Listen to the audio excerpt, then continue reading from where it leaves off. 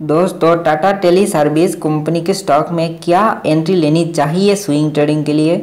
तो दोस्तों, ये निफ्टी के साथ चल रहा है, कह सकते हो ऑलमोस्ट निफ्टी के बराबर है, पर स्टॉक का लिक्विडिटी देखा जाए दोस्तों तो दोस्तों, दो मिलियन है, जो इतना तो ज़्यादा नहीं है, उसके हिसाब से कहा जाए। पर स्टॉक दोस्तों मल्टीबेगा रिटर्न दिया है, दो साल के अंदर, वो ठीक है। पर उसके बाद भी स्विंग ट्रेडिंग के लिए यह स्टॉक मेरे ख्याल से कैपेबल नहीं है, इतना ज़्यादा, ठीक है। तो इससे भी बेटर बेटर स्टॉक का वीडियो हमने चैनल पर डाल के रखा है तो उन वीडियोस को देखो, ठीक है? देखने के बाद तीन पार्ट या तो चार पार्ट में डिवाइड कर सकते हो कि पहला है निफ्टी के बराबर, जैसे कि ये स्टॉक निफ्टी के बराबर है। कुछ स्टॉक ऐसे भी है दोस्तों, निफ्टी से ऊपर परफॉर्मेंस कर रहा है। कुछ स्टॉक ऐसे भी है जो निफ्टी से नीचे परफॉर्मेंस कर रहा है, ठीक है? तो ये स्टॉक कह सकते हो, निफ्टी से थोड़ा नीचे ही है।